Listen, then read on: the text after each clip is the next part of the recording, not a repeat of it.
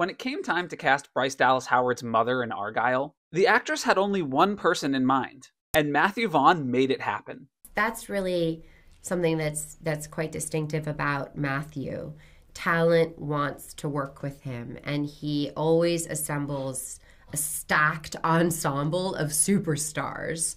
So you know, it was it was absolutely incredible to get to also just sort of I, I was I was cast before some other folks were cast, and um, and so he was like, "Who would you like to be your mother?" And I was like, "Catherine O'Hara." And the next day he called and he's like, "She's in." you know, what I mean, so it's just it's just insane.